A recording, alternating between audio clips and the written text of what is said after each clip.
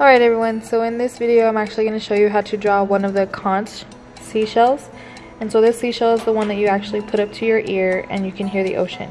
So it's a fairly big and difficult seashell. It took me a couple of times to figure out how to break it down into shapes to make it easier for you to draw. And of course that's what our goal is whenever we learn how to draw or start drawing from observation is trying to break our images down and actually figure out what kind of shapes they form together.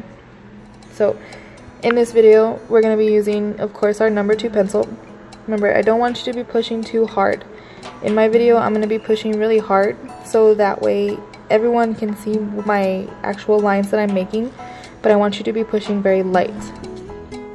Okay, so our first step, we're going to draw a curved diagonal line across the middle of our paper Make sure you do have enough space around your line so that way we can add to it and fill up that space when we draw our seashell. So this curved line is actually the angle guideline for which we want our seashell to, to move.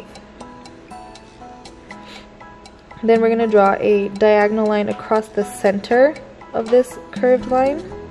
So this one here, you do want it to be fairly straight. It is just a guideline, so if it's not completely straight, don't worry does not have to be completely straight.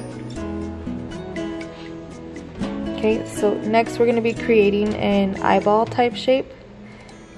Again, you want this line here in the center to have equal side, equal amount of the line on each side. Then we're going to draw, of course, our eyeball shape. This is going to be on the right hand side here.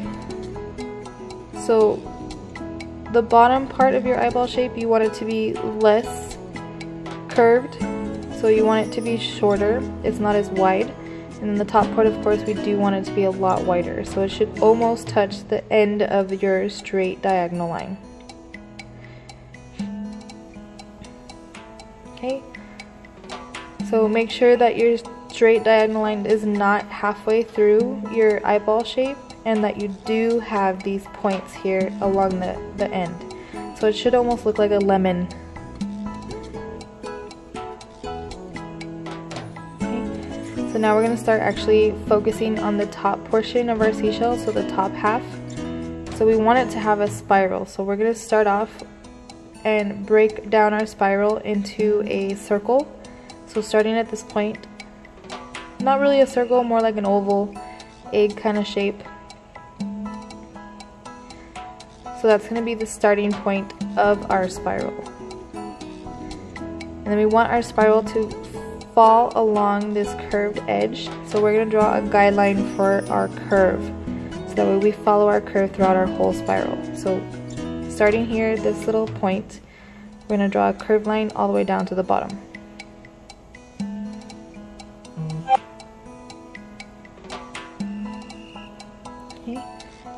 So we're going to actually draw four different circles or egg-like shapes in a row.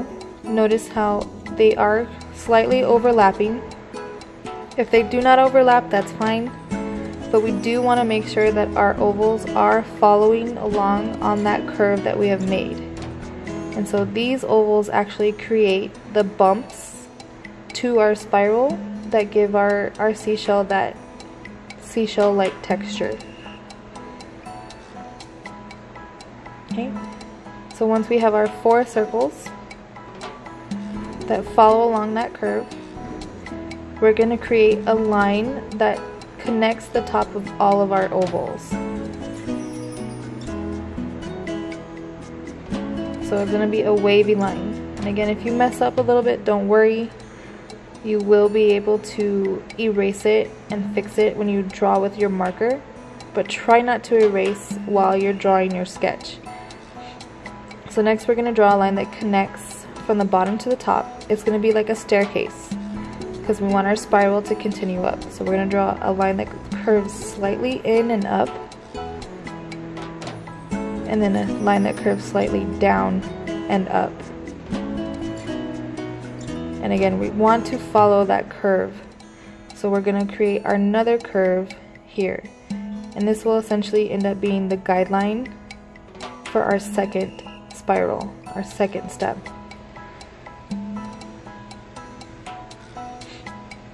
Alright, so just like we did on that first guideline, we're going to draw our four circles. Remember, we do want to follow along on that curve, so we want our circles to kind of curve up at an angle. And we want our circles to be slightly smaller, only because as our spiral gets up to our point, it will start to get smaller. So all of these circles should be slightly smaller than the circles before.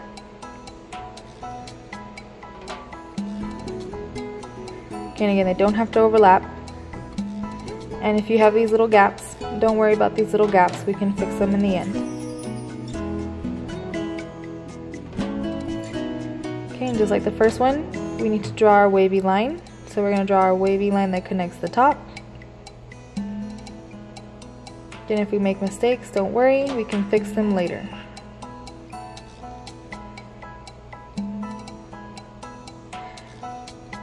Alright, so same thing as we did before with our first row of circles. You want to add this second step. So we're going to draw a curved line inward from the bottom circle and a curved line inward from the top circle. And again, remember, since it is a spiral and it does get smaller, you do want these steps to start getting smaller, these layers. So it should be thinner and not as wide. Okay, and again, now we have this curve for our guide. So we do our next layer of circles on that guideline and of course again we want them to get slightly smaller and curve slightly up towards the top.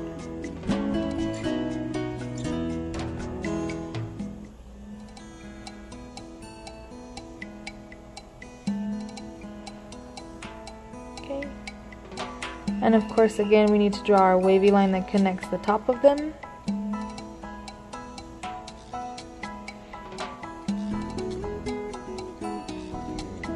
Then we need our little spiral staircase. Curve down, curve up, and we connect it. And do notice how each of my little spiral staircase tops do end up getting smaller. So this next one, our circles are actually going to be on top of our guideline. And of course they are our smallest set of circles. Draw our wavy line. and then small little bump on the top. And for the point of our seashell, we're actually going to draw a teardrop or a leaf type shape. And that's the end for the top half of your seashell. So this bottom half actually is not as complicated. That's why I saved it for the end. So what we're to do is we're to use that oval as our opening for our seashell. So coming along the edge here, we want to show where the inside of the seashell starts and ends. So we're to curve an extra line here along the bottom. Remember, it does not follow that first curved line. So this is going to be the connection between the opening flap and the left side flap. So we want to connect this corner here, but we don't want it to be completely gapped. So we're going to point it just a little bit more, extend it out.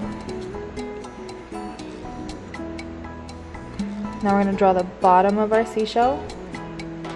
So the bottom's going to kind of curve up around your first little egg shape there.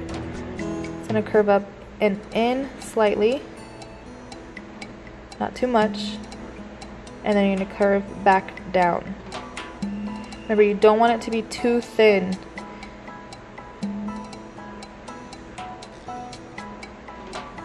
Okay, and then of course this last step we're going to draw the edge of our opening. So we're going to curve our paper, our line in. We're going to kind of curve it out to the tip of that outline. And then we're going to connect it all the way down to the bottom. So that's kind of what that little guideline there was for, is to help you give a little bit of a tip there. So it should almost look like a flap. So now we're done with our pencil. We can go ahead and put that aside and we'll get out our marker. I'm actually using a felt tip marker. So it's not exactly a marker, but it's not exactly a pen.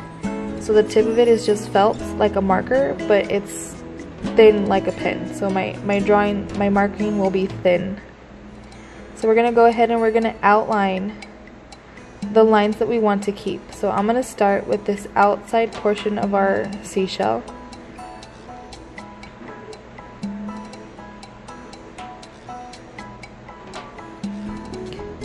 Okay, and then I'm gonna come in and do the inside portion of the flap. We don't want to draw, trace every single line. We only want to trace the lines that we want to keep. So now I'm going to do the left side portion of the opening.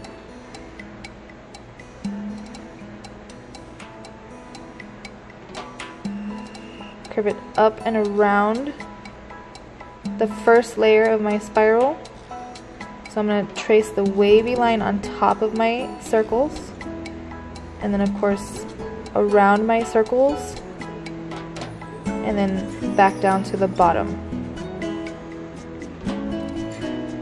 Okay, so we're not actually going to trace all of our circles at all. So what I want you to do is trace the outline first of this top portion. Okay, notice the little gap. I can fix it so it's not so gappy. Remember, do follow along with all the little bumps that you are or had made so that way you do have that outline and that texture of your seashell. It will look a lot better. Okay, so I'm to go back, trace, we don't want to trace these lines just yet. We're to trace these wavy lines first. So the top of our wavy line is actually the middle portion of the spiral that goes up our seashell. So now we're going to start tracing these guidelines here. We don't want to trace this bottom one here because it was just for our starter guideline. But we do want to trace the other ones to give us that dimension, that depth between, that separation between the first spiral and the second spiral and so on.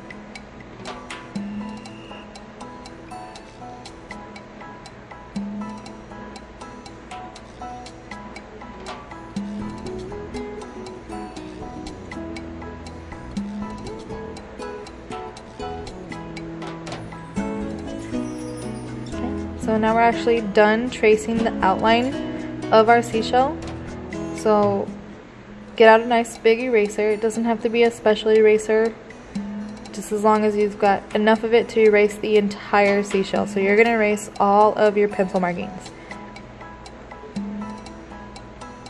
Okay. And so since I did press really hard, when I started erasing my pencil markings, I actually, you could end up seeing still the pencil markings that I had made before because I did press so hard. And also keep in mind when you press too hard that you can't erase it.